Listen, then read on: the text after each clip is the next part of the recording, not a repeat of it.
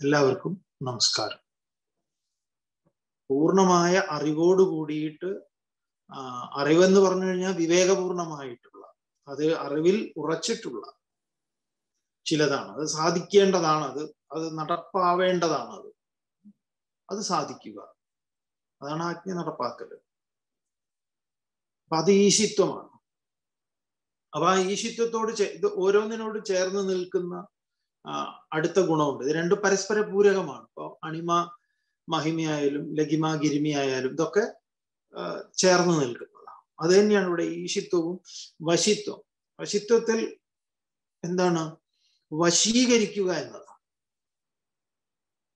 ഈ പലപ്പോഴും നമ്മൾ ഇത് ഉപയോഗിക്കുന്നത് ഈ ഇത് ഉപയോഗിക്കാറുണ്ട്. നമ്മൾ നമ്മുടെ ഇതിൽ എപ്പോഴും കേൾക്കാറുണ്ട്. കേൾക്കുന്നത് വേറൊരു തലത്തിലാണെന്നുള്ളത്. എന്താന്ന് പറഞ്ഞാൽ ഈ അമ്മമാര് സംസാരിക്കുന്നതാ. അതായത് മകൻ വിവാഹം കഴിച്ചു. അപ്പൊ വിവാഹം കഴിച്ചു കഴിഞ്ഞപ്പോ പിന്നെ എന്താണ്? ഈ അമ്മയ്ക്ക് പരാതി. അവനിപ്പോ എന്റെ ഒരു കാര്യത്തിൽ ഒരു ശ്രദ്ധയില്ല. മുമ്പ് അങ്ങനെ ആയിരുന്നില്ല എന്ന് ഇവൾ വീട്ടിൽ കയറിയോ അന്ന് പിന്നെ ഞാൻ എന്തോ ഇപ്പോ വലിയൊരു തെറ്റുകാരിയെ പോലെയാണ്. പല അമ്മമാർക്കും തോന്നുന്നുണ്ട്. ഇതിന്റെ കാരണം എന്താണെന്നറിയോ? ഈ മകൻ പാവം മകന് ഈ സ്നേഹം പങ്കുവെക്കൽ പരിപാടി ശരിക്കും അറിയില്ല. എങ്ങനെയാണെന്ന്. പക്ഷെ അമ്മയെ മനസ്സിലാക്കണമല്ലോ. ഇവനിപ്പോ ഇവന്റെ ഭാര്യ ഭാര്യയോട് സംസാരിക്കാനും അവളെ സ്നേഹിക്കാനും തന്നെ സമയമുള്ളൂ. കാരണം അതിൽ നിന്ന് കുറച്ച് സമയവും കുറച്ച് ശ്രദ്ധയൊക്കെ നമുക്ക് കിട്ടുക എന്ന് പറഞ്ഞു കഴിഞ്ഞാൽ അത് കുറച്ച് ബുദ്ധിമുട്ടാണ്. അപ്പൊ ഈ രണ്ട് കുട്ടികളുള്ള അമ്മമാർക്ക് ഈ പ്രശ്നമുണ്ട്. അതായത് ഈ മൂത്ത കുട്ടി ഉണ്ടല്ലോ അവനിപ്പോ രണ്ടു വയസ്സോ മൂന്ന് വയസ്സോ ഒക്കെ ആയിട്ടുണ്ടാവും. അപ്പോഴാണ് അടുത്ത കുഞ്ഞുമാവ ജനിക്കാൻ പോണ് അപ്പൊ ഇവൻ വലിയ ഭയങ്കര ഇതൊക്കെ ആയിട്ട് വലിയ സന്തോഷത്തിലൊക്കെ ആയിരിക്കും. പക്ഷേ കുട്ടി ഇങ്ങോട്ട് ജനിച്ചു കഴിയുമ്പം പിന്നെ അമ്മ ഏതു നേരം ഈ കുട്ടിയുടെ കൂടെയാണ് അതിന് പാൽ കൊടുക്കണു അതിനെ ഇതൊക്കെ ആക്കുക. അപ്പോ ഇവൻ പാവ ഇടക്കി വന്നിട്ട് ഇങ്ങനെ തൊട്ടുമൊക്കെയൊക്കെ ചെയ്യും. മോനെ മോനെ മോനെ തുടല്ലേ. അയ്യോ നീ അങ്ങോട്ട് നിൽക്ക് അങ്ങനെ എങ്ങനെയെന്നൊക്കെ പറയുമ്പോ ഇവന് വല്ലാത്തൊരു അവസ്ഥയാട്ടോ കുട്ടികളുടേത് അത്. ഇവന് പാവം പെട്ടെന്ന് ഇവൻ ടോട്ടലി ഇഗ്നോർ ചെയ്യപ്പെടുകയാണ് അപ്പോഴാണ് ഇവന്റെ അമ്മമ്മ വരുന്നത്. എടാ പോയി അവിടെ പോയിരിക്കും നിന്നെ ആരപ്പം ഇങ്ങോട്ട് വിളിച്ചത്? പിന്നെയോ കുട്ടികളെ കാണാൻ വരുന്ന ഓരോ ആൾക്കാർ അവരെന്താ പറയുന്നതെന്ന് അറിയോ ഇവനോട് ഓ എടാ നിന്നെ നീ ആർക്കും വേണ്ട. നീ ഔട്ടായി. ചെറിയ കുട്ടിയാണല്ലോ. ഇവനിത് കേൾക്കുമ്പോൾ അവന് ഭയങ്കര പ്രശ്നങ്ങൾ വരും. സ്വാഭാവികമായിട്ടുണ്ടല്ലോ. ഇവന് ഈ അനിയനോ അനിയത്തിയോ ആരാണെങ്കിലും ഇതിനോട് ഇതിനെ ഭയങ്കര ദേഷ്യവും. ആരും കാണാതെ ഇവനെ എന്തെങ്കിലും ഒക്കെ ചെയ്യാനും തോന്നും. അങ്ങനെ കുട്ടികൾ പലപ്പോഴും പലതും ചെയ്യാറുണ്ട്. അപ്പൊ നിങ്ങൾ കുട്ടികളെ നല്ല കൗൺസിലിംഗ് ചെയ്യണം. കുട്ടികളോട് പറയണം. ദേ മോനാണ് കേട്ടോ വാവയെ നോക്കേണ്ട ആൾ. കുട്ട അങ്ങനെ അങ്ങനെ എന്നൊക്കെ പറഞ്ഞ് ഇവനെ ഈ ജനിച്ച കുട്ടിയേക്കാൾ കെയർ കൊടുക്കേണ്ടത് ഇതിനാണ്. നിങ്ങളോട് തെറ്റായിട്ടാണ് പറഞ്ഞു തരുന്നത് അതിനെയാണ് നിങ്ങൾ ശുശ്രൂഷ അതിനെല്ലാം അതിനെന്താ കൊടുക്കേണ്ടത്? പാലും അങ്ങനെയുള്ള കുറച്ച് കാര്യങ്ങളൊക്കെ കൊടുത്താൽ മതി. പക്ഷെ മെന്റലി നമ്മൾ ഏറ്റവും കൂടുതൽ നല്ല കെയർ കൊടുക്കേണ്ടത് ഈ മൂത്തതിനോടാ. അതിന് അതിനത്രേ ഉള്ളൂ പ്രായം. അത് അതിന് ആ ചെറുപ്പത്തിൽ ഉണ്ടാവുന്ന ചില ഷോക്കിംഗ് ഒക്കെ അത് വല്ലാതെ ആ എന്താ പറയുക അവന്റെ അല്ലെങ്കിൽ അവളുടെ വ്യക്തിത്വത്തെ തന്നെ ബാധിക്കുന്നതാണ്. അപ്പോ ഈ അം ഈ ഈ ഇങ്ങനെ ഒരു വിവേകത്തോട് കൂടിയിട്ട് നന്നായിട്ട് ആ കൗൺസിലിങ്ങിന്റെ മർമ്മറിയുന്ന ഒരു അമ്മയാണെങ്കിൽ കാരണം അച്ഛനും അങ്ങനെയാണ്. കാരണം ഈ കുട്ടിയെ കുറിച്ചാണ് ഓരോരുത്തരും ഓരോന്ന് പറയുന്നത്. ഈ കുട്ടിയെ അത് ചെയ്യേണ്ടതും ഇത് ചെയ്യേണ്ടതും അങ്ങനെ എങ്ങനെ എങ്ങനെ എങ്ങനെ പിന്നെ ഈ കുട്ടിക്കാണ് പ്രസന്റ് ഒക്കെ കൊണ്ടു കൊടുക്കുന്നത് നിങ്ങളും ഇങ്ങനെ കുട്ടികൾക്ക് പ്രസന്റ് കൊണ്ടു കൊടുക്കുമ്പോൾ രണ്ട് കുട്ടികളുണ്ടെങ്കിൽ ആദ്യത്തതിനാണ് കൊടുക്കേണ്ടത് ആദ്യം തന്നെ. രണ്ടാമത്തതിന്റെ ഇത് ഇവന്റെ കയ്യിൽ തന്നെ കൊടുക്കുക. മോൻ കൊടുത്തേക്കണം കേട്ടോ എന്ന് പറയുക. അപ്പൊ അവന് നല്ലൊരു അംഗീകാരം കിട്ടണം. എന്നാ കുഴപ്പമില്ലാണ്ട് പോയിക്കോളൂ ഇത്. ഈ ചെറുപ്പത്തിൽ ഉണ്ടാവുന്ന ചെറിയ ഈ വിദ്വേഷമൊക്കെ ഉണ്ടല്ലോ. അന്ന് അവിടെ മുള പൊട്ടിക്കഴിഞ്ഞാൽ ഈ സാധനം വലുതാവുമ്പോഴും ഉണ്ടാവും. അതാണ് ഈ തമ്മാമ്മിലൊക്കെ വലിയ പ്രശ്നങ്ങളൊക്കെ ഉണ്ടാവുന്നുണ്ട്. ചിലതൊന്നും ഇതിൽ ഇതിലൊരു മനഃശാസ്ത്രം ഉണ്ട് ഇത് മനഃശാസ്ത്രകാരന്മാരായിട്ട് നിങ്ങൾ സംസാരിച്ചു നോക്കും അവർ പറഞ്ഞു തരും. അപ്പൊ ശരിയാണ് നമ്മളെ കാര്യം. അപ്പോ പറഞ്ഞു വന്നത് ഈ മകൻ കല്യാണം കഴിഞ്ഞു വന്നു. അപ്പോ ഈ മകൻ എന്താ ഇപ്പോ ഭാര്യയുടെ അവളെ എന്താണോ പറയുന്നത് അത് കഴിഞ്ഞിട്ടേ ഉള്ളൂ അവന്. മുമ്പ് അവൻ ഇങ്ങനെ ആയിരുന്നില്ലേ? മുമ്പ് ഇവന് അമ്പലത്തിലൊന്നും പോവില്ല. ഇപ്പണ്ട് വെളിയും കൂട്ടി അമ്പലത്തിൽ പോണ. ഏതൊക്കെ അമ്പലത്തിൽ അറിയൂ? എന്താ? ഓ ഓ. അപ്പൊ ഈ അമ്മ എന്നെ ഇങ്ങനെ ഇങ്ങനെ അങ്ങോട്ടും ഇങ്ങോട്ടും ഒക്കെ പോണ അമ്മ പരിഹസിച്ചു കൊണ്ടുള്ള നോട്ടവും ഇതൊക്കെ ഉണ്ടാവും. അപ്പൊ അമ്മ എന്തായാലും അടുത്ത വീട്ടിലെ കല്യാണിയമ്മ വന്നപ്പോ പറയുന്നത് എന്താണെന്നറിയോ അപ്പൊ കല്യാണിയമ്മയോട് കാര്യങ്ങളൊക്കെ പറഞ്ഞു. എന്താ നിങ്ങൾ വല്ലാതെ ഇരിക്കുന്നത് ഏ എന്ത് പറയണു പുതിയ മരുമകൾ? ആ ഞാൻ എന്ത് പറയാൻ അവരായി അവരുടെ പാടായി. നമ്മൾ നമ്മുടെ ഉത്തരവാദിത്തം കഴിഞ്ഞത് എത്രയൊക്കെ വളർത്തി പോറ്റി കല്യാണം കഴിപ്പിച്ചു കൊടുത്തു. കഴിഞ്ഞു. ഏഹ് അതെന്താ അങ്ങനെ? ഏയ് അങ്ങനെയെന്ന് പറഞ്ഞാൽ എന്താ അപ്പൊ അങ്ങനെ തന്നെ. അപ്പൊ ഇവർ അറിയാണ്ട് അങ്ങോട്ട് പറഞ്ഞു. ഇപ്പൊ അവക്ക് അവൻ അവൾ മതി. എന്നെ വേണ്ട. അപ്പൊ ഈ കല്യാണിയമ്മ പറയുന്ന ഒരു വർത്തമാനം വർത്തമാനമുണ്ട്. അതെന്താന്നറിയാം? അവൾ അവനെ വശീകരിച്ചതാണ്. അതെ. നമ്മൾ ഈ വശീകരണം ഉപയോഗിക്കാറ് ഈ മരുമകൾ മകനെ എന്താ പറയുക സ്വാധീനത്തിലാക്കി എന്നിടത്താണ് നമ്മൾ ഈ വശീകരണം.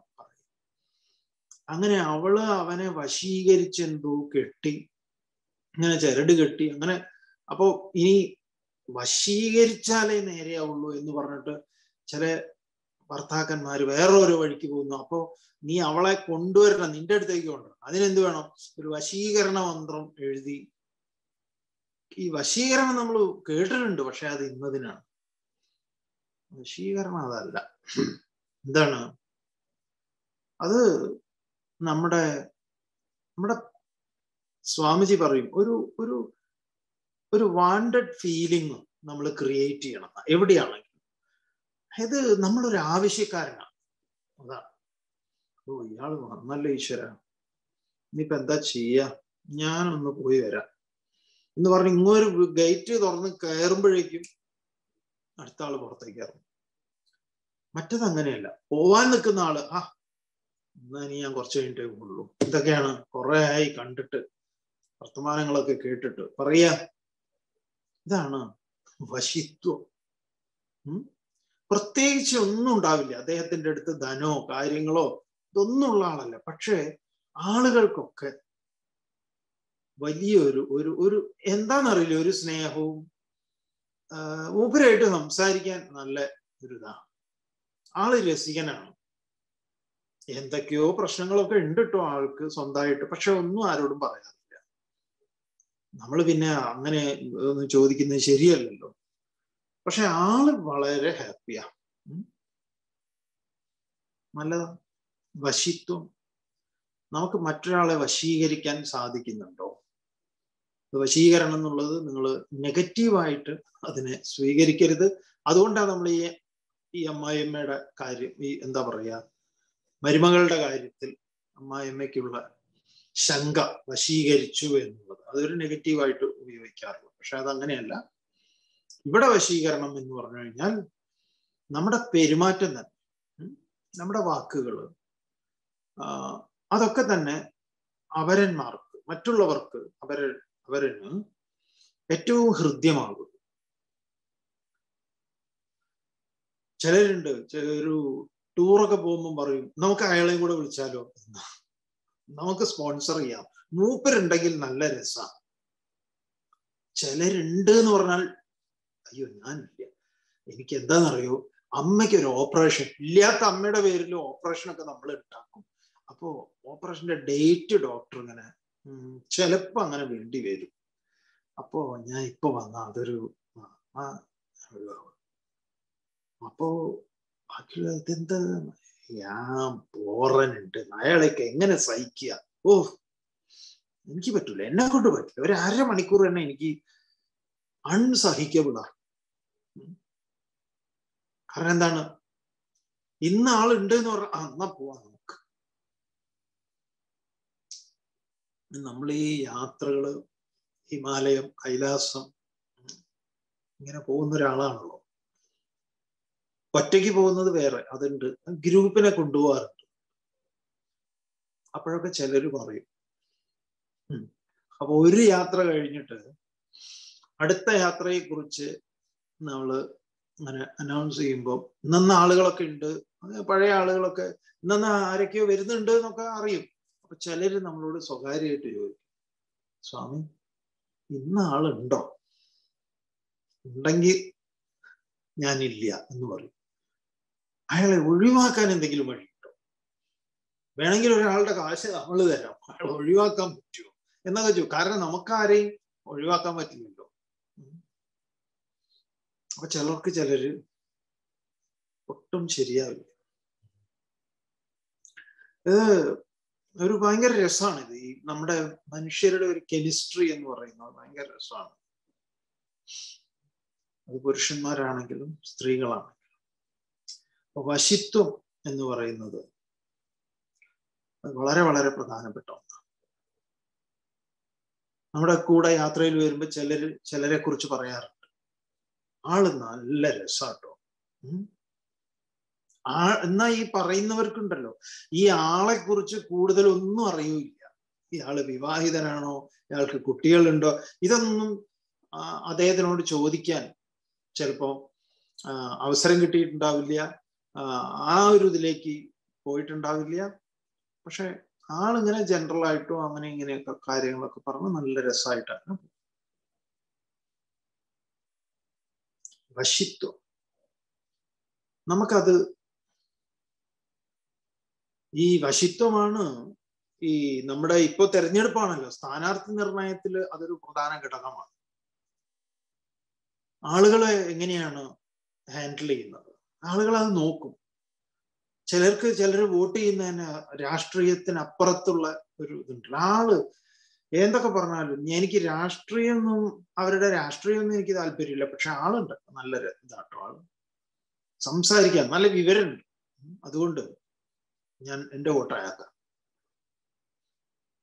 മറ്റേത് രാഷ്ട്രീയത്തിനോട് എനിക്ക് അനുഭാവവും കാര്യമൊക്കെ ഉണ്ട്. പക്ഷേ അയ്യോ ഇയാൾക്ക് വോട്ട് ചെയ്യേണ്ട കാര്യം ആലോചിക്കുമ്പോൾ വോട്ട് ഞാൻ ചെയ്യണ്ടെന്ന് തോന്നുന്നു. കാരണം എന്താണ്? വശിത്വമില്ല. നമ്മൾ പറയും ഒരു വശവശകുണ്ടല്ലോ എന്ന്. അതന്നെ. വശിത്വമില്ലായ്മ. അതാണ് വശവശക്. അപ്പൊ ഈശിത്വം വശിത്വം. പിന്നെ പ്രാപ്തി പ്രാകാശ്യം.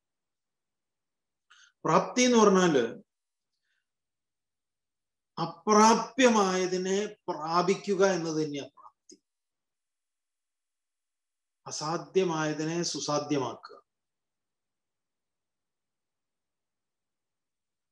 എല്ലാവരും പറഞ്ഞു ഏയ് അതൊന്നും ഒന്നും പറ്റൂല കേട്ടോ പക്ഷേ സാധിച്ചു. കഴിയുമ്പോഴാണ് പലർക്കും അത്ഭുതം. ഏ അതെങ്ങനെ? എന്തെന്ത് കാര്യങ്ങൾ പ്രായവും കാര്യങ്ങളും ഒക്കെ വെച്ചുകൊണ്ട് ചിലർ പറയുകയെ ഇനി ഈ പ്രായത്തിലൊക്കെ വേറെ പണിയൊന്നും അങ്ങനെയല്ല. ഓരോരുത്തരുണ്ട് അങ്ങനെ. അവർ അതിനെയൊക്കെ അതിവർത്തിച്ച് അതിനെ പ്രാപിക്കുന്നു. അപ്രാപ്യമാണത്. പലരെ സംബന്ധിച്ച്. കേൾക്കുമ്പോൾ തന്നെ. പക്ഷേ അത് അത് അതെന്താണ്? അപ്രാപ്തി എന്നത് നമ്മുടെ ഉള്ളിലുള്ള ഒരു സവിശേഷമായിട്ടുള്ള ഒന്നാണ്. അതൊരു സിദ്ധിയാണ്. പ്രാപ്തി. ഒരുപാട് പേരുണ്ട്. ചിലപ്പോ നമുക്കറിയാം. പെട്ടെന്നാണ് ഭർത്താവിന്റെ മരണം. ആകെ തളർത്തി തരിപ്പണാക്കി പോവുകയും അധികം പ്രായവുമില്ല. ഈ പ്രാ ഈ എന്താ പറയാ ചെറുപ്പക്കാരായിട്ടുള്ളവർക്ക് അങ്ങനെയുള്ള ഒരു ഭർത്താവൊക്കെ മരിക്കുമ്പം സ്ത്രീകൾക്ക് ഒരുപാട് പ്രഷറുകളുണ്ട്. ഒന്ന് അടുത്ത ആഴ്ച മുതൽ പ്രപ്പോസൽ പുതിയത് തുടങ്ങും. അതാണ് അതിൽ ഏറ്റവും വലിയൊരു ബുദ്ധിമുട്ട് അതുപോലെ ആൾ ചെയ്തുകൊണ്ടിരുന്ന കാര്യങ്ങളുടെ ഒരു തുടർച്ചയ്ക്ക് ഉള്ള ഉത്തരവാദിത്തം ഏറ്റെടുക്കൽ കുട്ടികളുണ്ടെങ്കിൽ അതിനെ വളർത്തേണ്ടത്. അപ്പൊ ഒരുപാട് പേര് പെട്ടെന്ന് കൊടുക്കുന്ന ഓപ്ഷനാണ്. നമ്മളെ ഒരു ആറ് മാസത്തൊക്കെ കഴിഞ്ഞാൽ അത് നമ്മൾ എങ്ങനെയെങ്കിലുമൊക്കെ അപ്പൊ ഇവർ തന്നെ അങ്ങോട്ടും ഇങ്ങോട്ടും മാറി നിന്നിട്ട് ശവം എടുക്കുന്നതിന് മുമ്പ് തന്നെ ആലോചനകൾ നടത്തും. നമുക്കൊന്ന് ഉറപ്പിച്ചു വെക്കാം. അത് ഒരു വർഷമാവട്ടെ അത് കഴിഞ്ഞിട്ട് മതി. അല്ലെങ്കിൽ അവർക്ക് എങ്ങനെ ഒറ്റയ്ക്ക് ജീവിക്കാനൊന്നും പറ്റില്ല. കാരണം ചെറിയ കുട്ടിയൊക്കെയാണ്. എനിക്ക് വളർത്തി വലുതാക്കുക എന്നൊക്കെ പറഞ്ഞ ഇന്നത്തെ കാലത്തൊക്കെ ബുദ്ധിമുട്ടാണ്. ആരെങ്കിലും ഒരു ഒരു ഒരു ഒരില്ലാതെ ഒന്നും ശരിയാവില്ല. അങ്ങനെ കൊങ്ങനെ കൊങ്ങനെ എന്ന് പറഞ്ഞു കഴിഞ്ഞിട്ട് പക്ഷെ അവരുണ്ടല്ലോ. ഈ വർത്തമാനങ്ങളെയൊക്കെ എന്താ പറയാ പുറങ്കാലം കൊണ്ട് ചവിട്ടി വലിച്ചെറിഞ്ഞ് ആരോടും എതിർക്കാതെ ഒന്നും പോവാതെ തന്നെ അവരെന്ത് ചെയ്യുന്നു? ഇപ്പൊ എല്ലാവരും പറഞ്ഞോ? കണ്ടോ? അതാണ് പ്രാപ്തി. നമ്മളും പറയും അത്. പ്രാപ്തിയുള്ളവരാണ്. പ്രാപ്തിയുള്ളവളാണ്. പ്രാപ്തിയുള്ളവനാണ്. അതെ എന്താണത്? ഇത് തന്നെ. സിദ്ധിയാണത്. ഒരു പ്രാപ്തിയില്ലാത്തവൻ. അതെ. അതില്ല. പിന്നെ എങ്ങനെയാ പ്രാപ്തി. ഈ അഷ്ടസിദ്ധിയൊക്കെ ഉണ്ടെങ്കിൽ പിന്നെ വേറെ എന്താ വേണ്ടത് ഇതിലേതെങ്കിലും ഒന്നും മതി.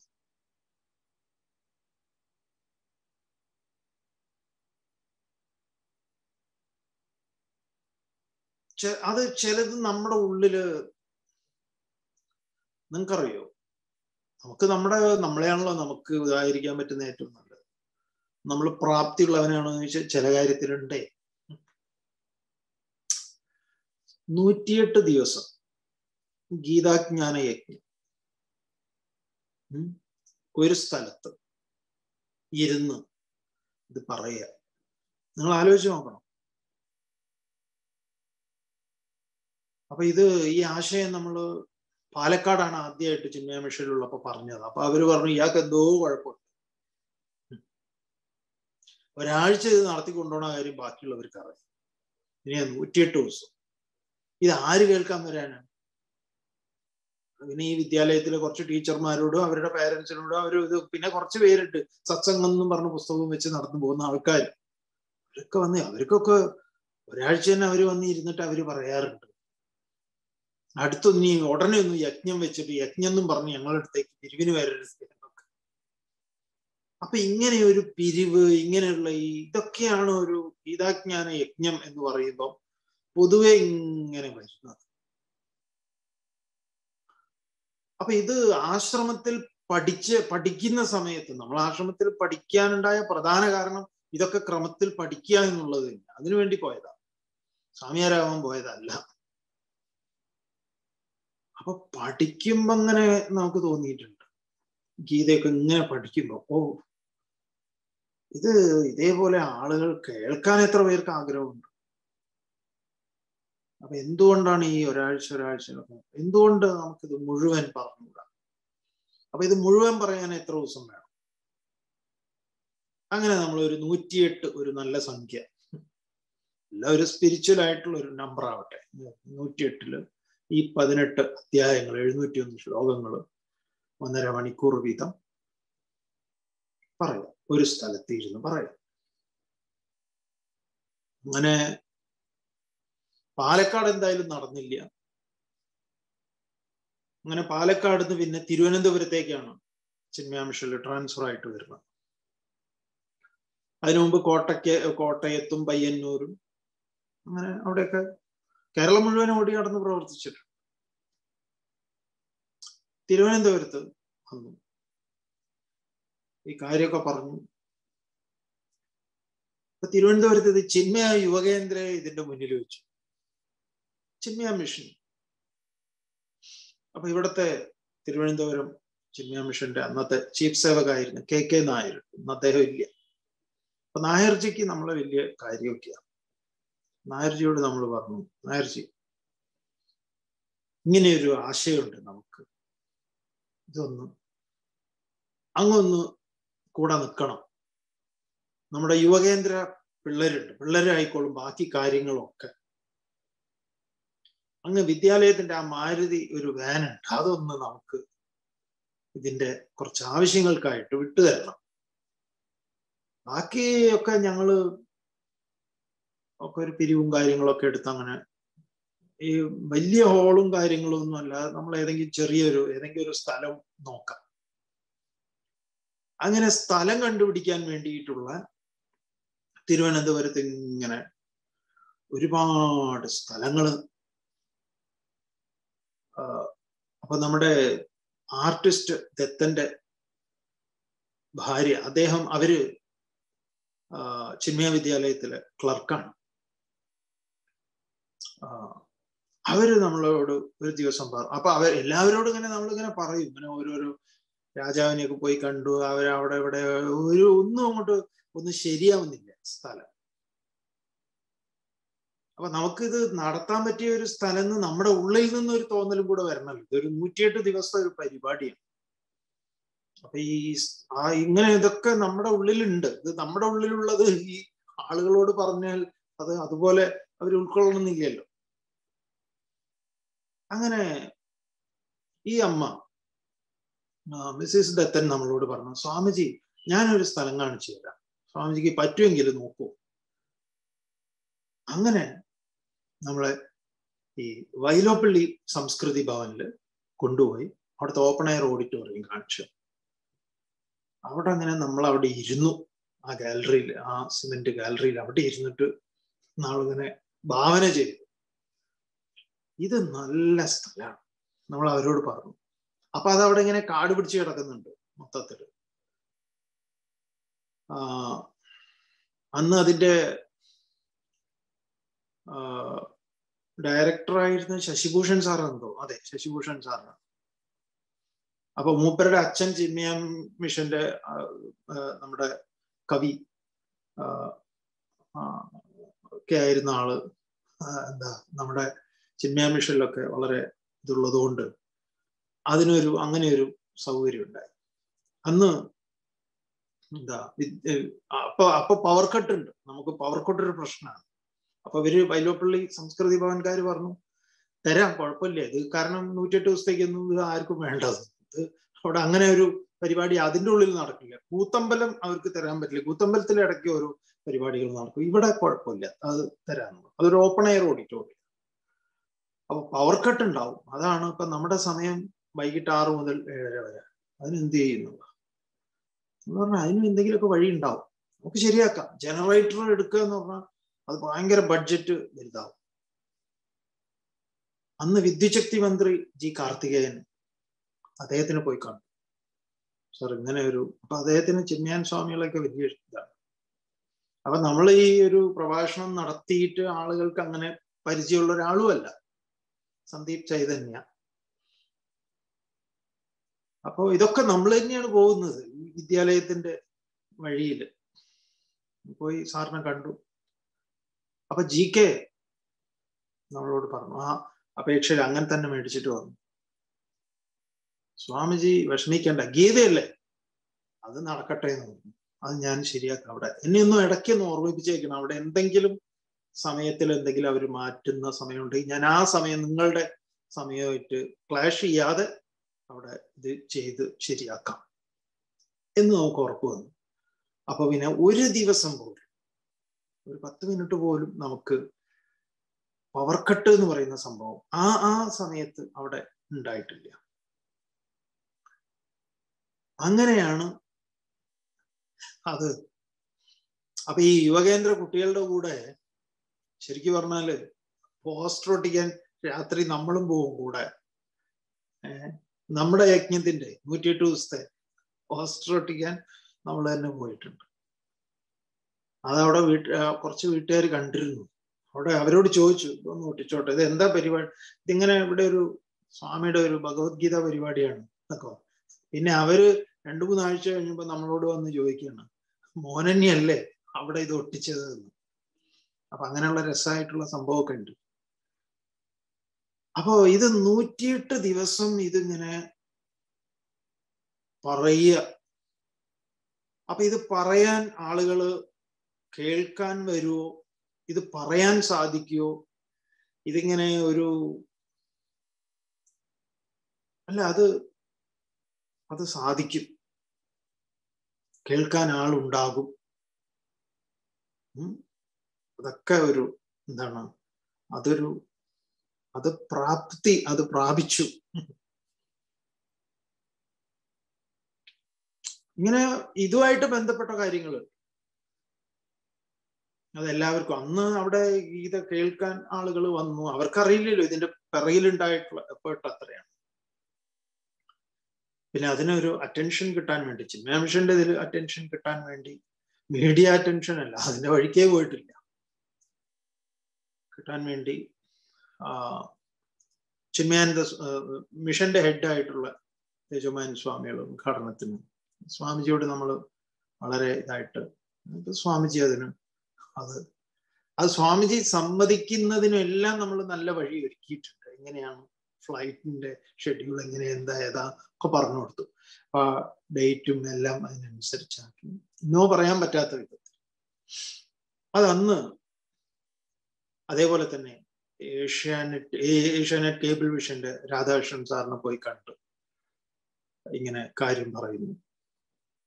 അപ്പോ അവർ ആദ്യം മുതൽ നല്ലൊരാളെ ഞാൻ ഇതിന് സ്വാമി ഇത് എടുക്കുമ്പോഴുള്ള ഒരു പ്രശ്നം എന്താന്ന് പറഞ്ഞാൽ ഇതിനൊരു നല്ലൊരു താല്പര്യമുള്ള ഒരാൾ തന്നെ വേണം. എന്നാലേ അതിനൊരു തുടർച്ച ഉണ്ടാവും. ആരെങ്കിലുമൊക്കെ ചെയ്താൽ പോരാ. അങ്ങനെയാണ് വിപിൻ ചന്ദ്രനെ രാധാകൃഷ്ണൻ സാർ ഏർപ്പാടാക്കി തരുന്നു ആ വിപിൻ ആ ആദ്യ ദിവസം മുതൽ നൂറ്റിയെട്ട് ദിവസം വരെ കവർ ചെയ്തത് വിപിനാണ്. അത് അതൊക്കെ ഒരു പിന്നെ ആദ്യം തന്നെ ഏഷ്യാനെറ്റ് ടേബിൾ വിഷനിലൂടെയാണ് അത് കേരളം മുഴുവൻ വന്നിട്ടുള്ളത്. ഇത് പിന്നെ ദൂരദർശനിലേക്ക് അത് വന്നത്. അതും നമ്മൾ വീട്ടിലിരുന്ന് എങ്ങനെ ആളുകൾക്ക് ഇത് കണ്ട് കാരണം ഒരുപാട് പേർക്ക് ഇത് കേൾക്കാൻ വേണ്ടിയിട്ട് ഇതിങ്ങനെ പുസ്തകവും കക്ഷത്ത് വെച്ച് ഇങ്ങനെ ഇരിക്കാൻ കേൾക്കാൻ. നമ്മുടെ ഇതിൽ വീട്ടിൽ ചാരിയിരുന്നു കസേരയിൽ കാലിന്റെ മുകളിൽ കാലും കയറ്റി വെച്ച്. കാരണം നമ്മുടെ ശ്രദ്ധയാണ് അത് പ്രധാനം. അപ്പൊ ആ ഒരു അറ്റൻഷൻ എനിക്ക് ഒരു പബ്ലിക്കിൽ എനിക്ക് അങ്ങനെ ഇരിക്കുമ്പോൾ ചില ബുദ്ധിമുട്ടുകൾ ഉണ്ടാവും അപ്പോ അങ്ങനെയൊക്കെ ഇത് നഷ്ടപ്പെട്ടുകൂടാ. അതുകൊണ്ട് വീട്ടിൽ ഇരുന്ന് നമ്മുടെ സ്വീകരണ മുറിയിൽ ഇരുന്ന് വീട്ടിൽ ഇരുന്ന് എങ്ങനെ നമുക്കിത് കേൾക്കാം? അങ്ങനെ ദൂരദർശനിലേക്കും എ സി ഒക്കെ വന്നു അപ്പൊ ആളുകൾക്ക് അറിയില്ല ദൂരദർശനിൽ നമ്മൾ കാശ് അങ്ങോട്ട് കൊടുത്തിട്ടാണ്. ഏഷ്യാനെറ്റ് ന്യൂസിലാണെങ്കിലും ടി വിയിൽ എല്ലാറ്റിലും നമ്മൾ അങ്ങോട്ട് കാശ് കൊടുത്തിട്ടാണ് ടെലികാസ്റ്റ് ചെയ്തിട്ടുള്ളത്. അപ്പൊ ആളുകൾ നമ്മളെ നമുക്ക് സഹായം ചെയ്തു തന്നിട്ടുണ്ട്. ഇപ്പൊ ഇത് നടക്കുന്നത് വെബിനാറിലും. കാശ് അങ്ങോട്ട് സൂമിന് കൊടുത്തിട്ടാണ് അത് ചെയ്യുന്നത്. അതുകൊണ്ടാണ് നിങ്ങൾ എടുത്തുനിന്ന് ഒരു കോൺട്രിബ്യൂഷൻ മേടിച്ചിട്ടുള്ളത്. ഇതും ഒരു സാധ്യതയാണ്. ഇതാണ് ഇപ്പൊ നമുക്ക് തോന്നുന്ന ഏറ്റവും നല്ല ഒരു സാധ്യത. ഇത് ആദ്യം ഈ ആദ്യം തുടങ്ങി ഇങ്ങനെ രണ്ട് മൂന്ന് ദിവസമൊക്കെ കഴിഞ്ഞപ്പോൾ നമ്മളോട് ഉഷാജി പറഞ്ഞു സ്വാമിജി ഞങ്ങളൊക്കെ ഇരുന്ന് ഇങ്ങനെ കേൾക്കുന്നുണ്ട് കേട്ടോ ആ ഒരു ചിന്തയും കൂടെ വേണം.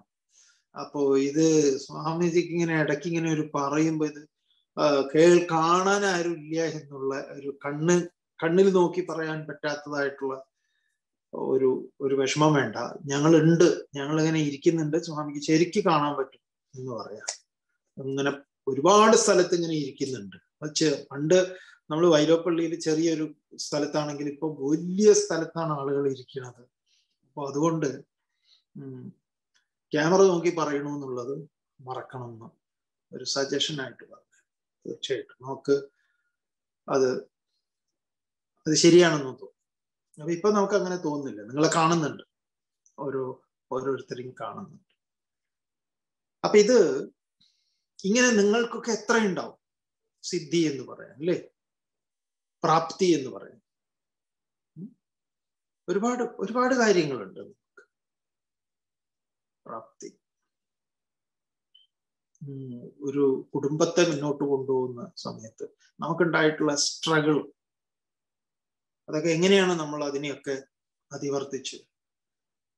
എന്തൊക്കെ പ്രശ്നങ്ങൾ? നമ്മൾ പഞ്ചാഗ്നി മധ്യ എന്നൊക്കെ പറയുന്നത് പോലെ. എല്ലാവർക്കും ഉണ്ട്. സന്യാസിയുടെ ജീവിതത്തിലും ഉണ്ട്. എല്ലാവർക്കും ഉണ്ട്. പക്ഷേ നമ്മൾ ഏയ് ഇതൊന്നുമല്ല എന്റെ ലക്ഷ്യം. ഇതൊക്കെ എന്ത്? എന്ന് മുന്നോട്ടേക്ക് തന്നെ പോകും. അവസാനത്തേത് എട്ടാമത്തേത് പ്രാകാശ്യം. പ്രകാശ്യം എന്ന് പറഞ്ഞു കഴിഞ്ഞാൽ പ്രകാശിക്കലാണ്. എപ്പോൾ എവിടെ. അതാണ്. ആ സമയത്ത് നമ്മൾ ഒരു സ്ഥലത്ത് എത്തുക ആ ഇതേ ആൾ പറഞ്ഞു നാവ് എടുത്തിട്ടില്ല ആളിതാ വന്നു. ഏ എന്താ കാര്യം? അയ്യോ ഇങ്ങനെ ഒരു പ്രശ്നമുണ്ട്. അതൊന്ന് എങ്ങനെയെങ്കിലും ഞങ്ങളിങ്ങനെ അത് ഫോൺ എടുത്തിരിക്കുക വിളിക്കാൻ ഇത് ആൾ അപ്പൊ എപ്പോഴാണോ നമ്മളെ വേണം എന്നൊരാൾക്ക് തോന്നുന്നത് അപ്പം നമ്മൾ പ്രകാശിക്കുക. മറ്റേത് അതല്ല എങ്ങനെങ്കിലും ഒന്ന് ഇത് നടത്തണം എന്ന് വിചാരിക്കുമ്പോഴാണ് ആ അയ്യോ അതാ വരുന്ന.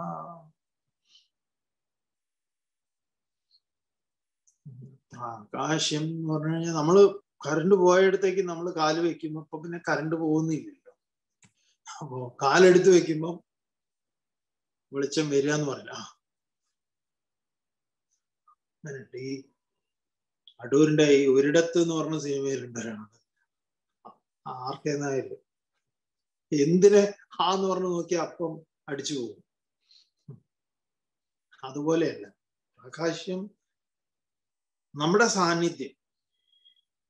അത് അനിവാര്യമാകും ആ സമയത്ത് നമ്മൾ എത്തും. നമ്മളാൽ അത് ഒരു പ്രകാശം കണക്കെ തന്നെ.